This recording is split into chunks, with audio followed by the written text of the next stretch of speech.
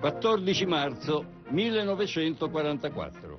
Si avvicina la primavera e la città di Cassino e sul monte lo scheletro dell'abbazia di Monte Cassino bombardata sbarrano ancora agli alleati la strada di Roma.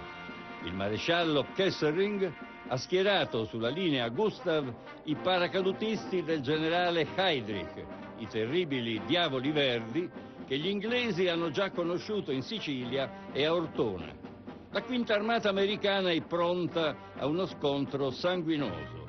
Il generale de Gaulle, capo della Francia libera, passa in rivista le truppe francesi che si avviano alla prima linea.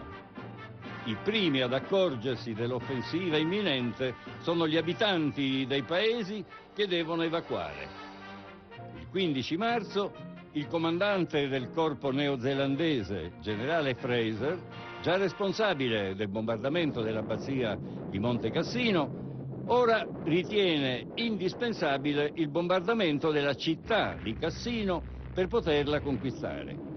All'osservatorio di Cervara i generali Alexander, Clark e Fraser assistono al terrificante bombardamento della città.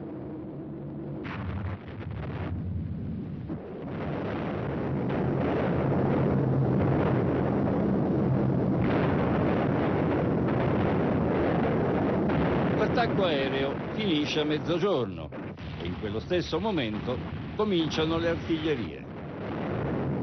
1300 tonnellate di bombe, 200.000 colpi d'artiglieria cadono in sette ore su Cassino.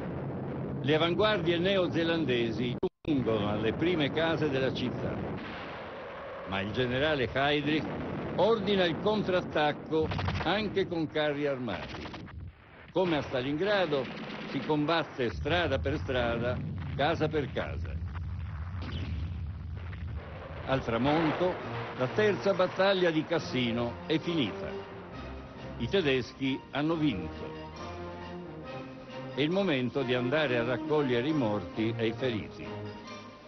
I neozelandesi hanno perduto 1600 uomini, i tedeschi molti di più, ma continuano a tenere Cassino e Monte Cassino e a sbarrare agli alleati la strada di Roma, che continueranno a bloccare per altri due mesi.